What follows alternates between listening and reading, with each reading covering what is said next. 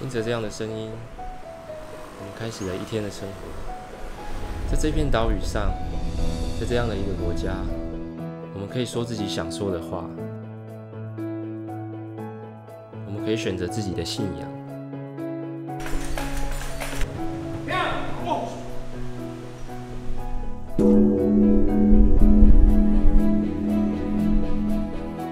我们可以发起活动，参与集会，可以做任何想做的事情。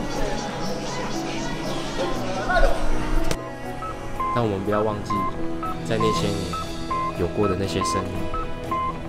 咱希望这个人类上长的戒严令会当短时间来废除。